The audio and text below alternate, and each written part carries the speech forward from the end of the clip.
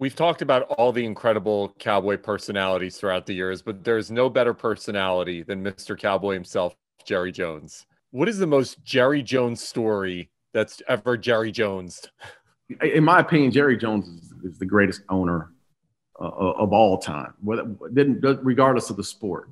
I would say that in the sense of you know, this team has been irrelevant for 26 years, yet they are the number one franchise in the world. That's because that man understands business. He understands how to market. The NFL is not where it is today without Jerry Jones pushing the envelope as far as sponsorship in the early 90s with Pepsi and Nike and and, and then almost getting sued by the league.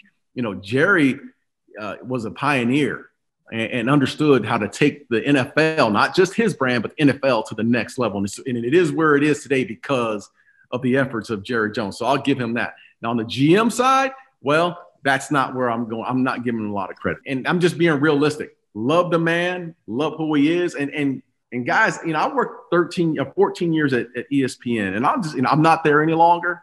But I can tell you this: it was hard to criticize Jerry, even after the, all the lapses and after the product they put out on the field and whatnot, because I know the man's heart.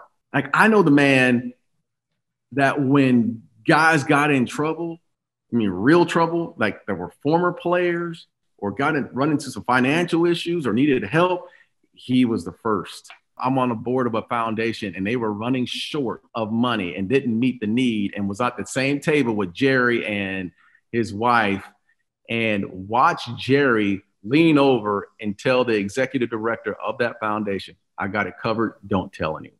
I sat there and watched that. That is that is the man that we're talking about. And I know he takes a lot of criticism. I'm one that always criticize, you know, I have to criticize him for the for the talent that they have on the field or, or the lapse of winning a championship. But as far as the man, it's hard to, to criticize the man because he, he's been there and, and it didn't matter if he's black, white, purple, he's going to protect his family and friends.